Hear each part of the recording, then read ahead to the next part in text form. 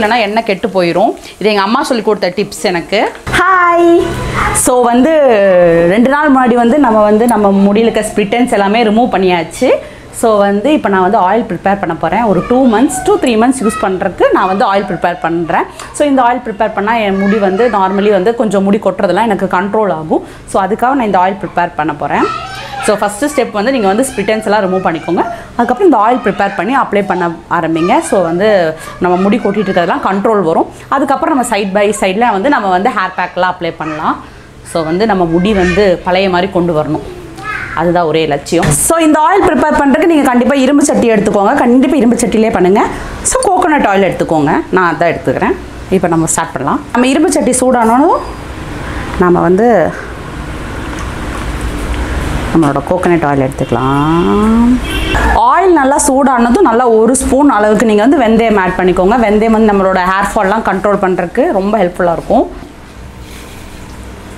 Just ஒரு spoon add பண்ணிங்கன்னா போதும். நம்மளோட இந்த நம்மளோட அலோவேரா போட்டாச்சு.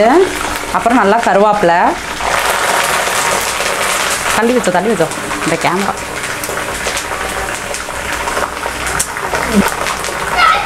நல்லா கருவேப்பிலை ஆட் பண்ணிக்கோங்க. நிறையா.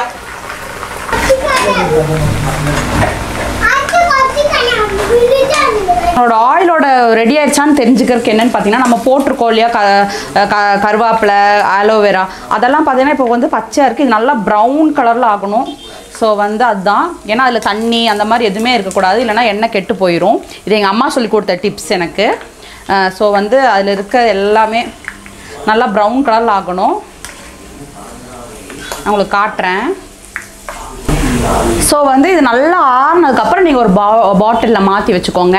என்னோட ஒரு டிப்ஸ் என்னென்னா நான் என்ன பண்ணுவேன்னா இதில் இருக்கிறதெல்லாம் சில பேர் என்ன பண்ணுவாங்கன்னா ஆயில் ப்ரிப்பேர் பண்ணிட்டு அது ஃபில்டர் பண்ணி அந்த கருவேப்பிலை இந்த அலோவேரா எல்லாமே வந்து வீசிடுவாங்க வெறும் ஆயில் மட்டும் அப்ளை பண்ணுவாங்க. நான் வந்து இது ஒரு வந்து கொஞ்சமாக தான் ப்ரிப்பேர் பண்ணிக்கேன் ஒரு ஒன் மந்த் டூ மந்த் வர மாதிரி தான் ப்ரிப்பேர் பண்ணிக்கேன் மேபி நான் நிறைய யூஸ் பண்ணால் சீக்கிரமாகவே தீந்துரும். அதனால் நான் என்ன பண்ணுவேன்னா இந்த நம்ம இதில் போட்டிருக்க வெந்தயம் கருவேப்பிலை அலோவேரா எல்லாமே வந்து நான் வந்து சேர்த்தே தான் நான் வந்து அப்படியே தான் வந்து நான் வந்து வேற ஒரு பாட்டிலுக்குள்ளே மாற்ற போகிறேன் ஸோ வந்து அப்படி தான் நான் பண்ண போகிறேன் ஸோ நம்மளோட ஆயில் வந்து ப்ரிப்பேர் ஆயிடுச்சு. இந்த ஒரு இதில் நான் ஆஃப் பண்ணிட்டேன்.